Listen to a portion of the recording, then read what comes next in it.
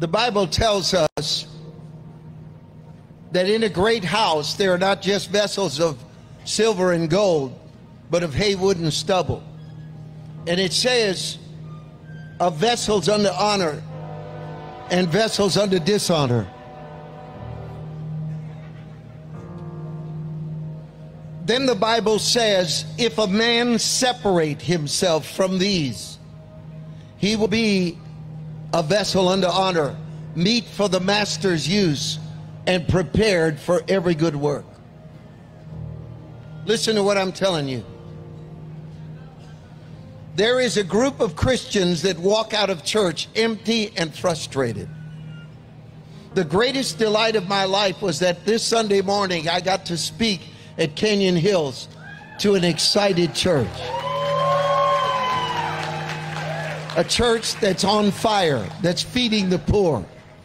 And they are not alone in being a great church. There are many great churches. But there is a deep, abiding rejection of commercial Christianity going on right now. The people are saying, I'm not content to be entertained. I want to feel God. I want to I want somebody to preach the word of God to me. Somebody help me right now. I want I want someone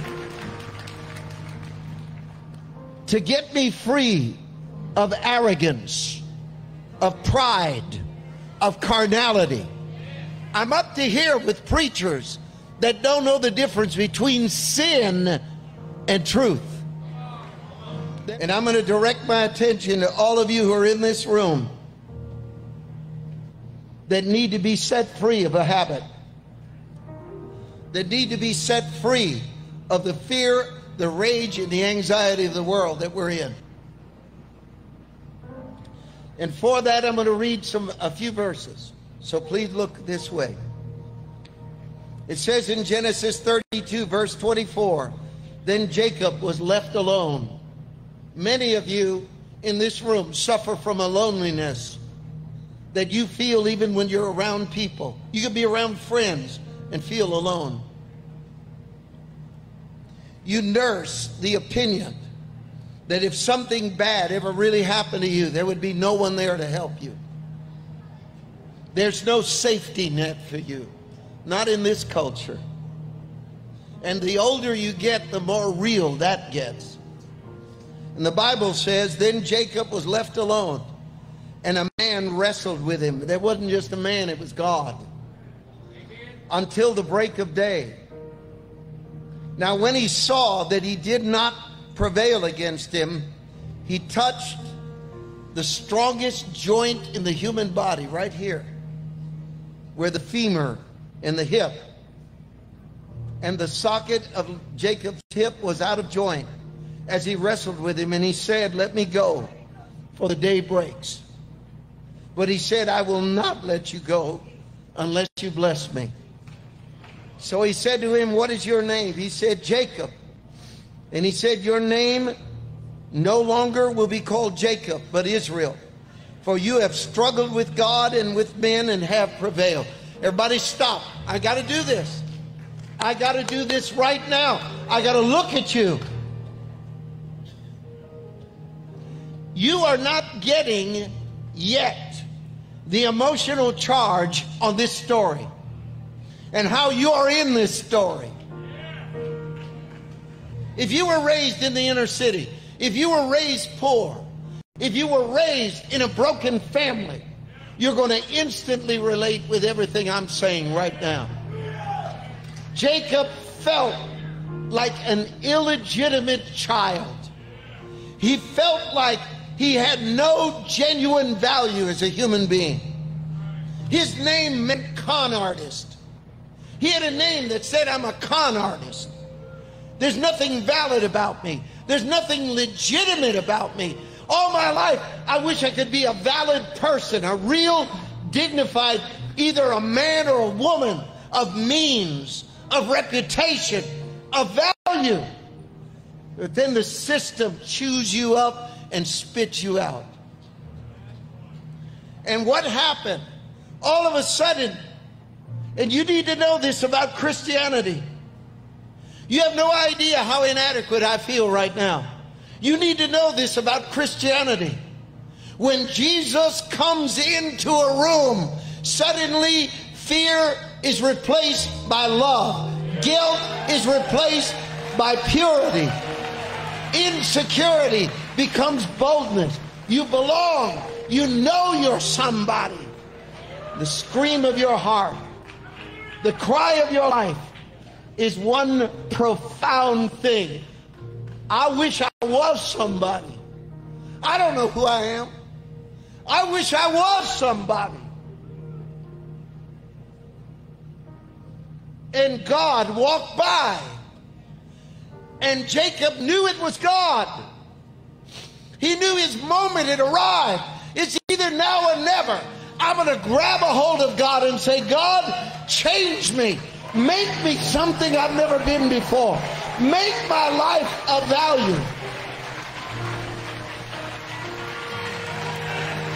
Look.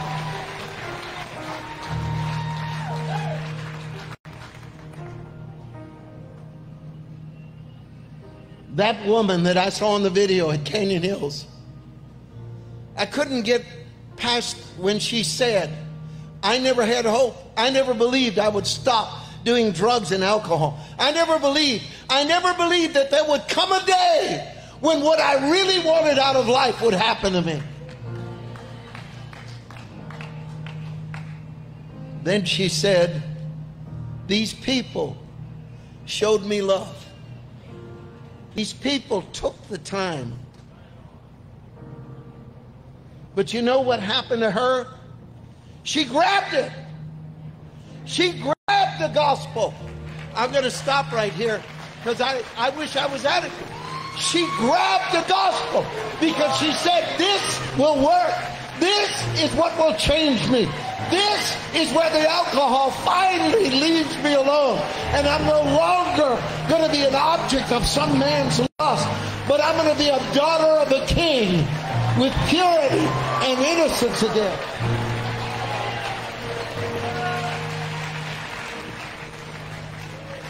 Is anybody getting this?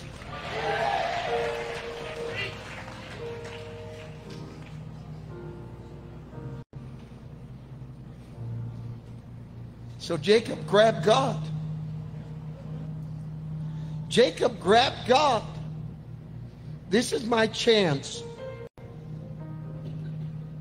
to no longer be a con artist, an afterthought, a cruel joke, somebody else's slave. This is my chance to find my real identity. Who I really am.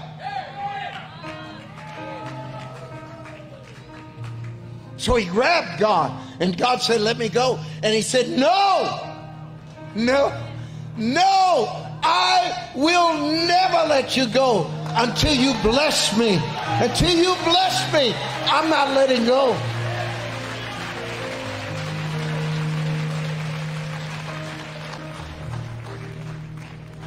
So, how? How is it that God couldn't break his hold? How is it that God had the power to dislocate his hip but not break his grip?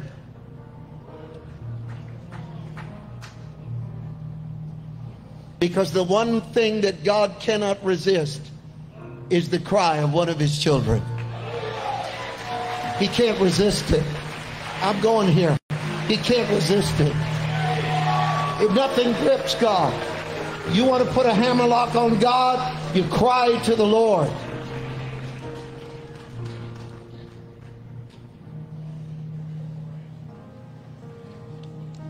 In Psalm 34, verse 6, it says, This poor man cried to the Lord, and the Lord heard him and delivered him from all of his trouble.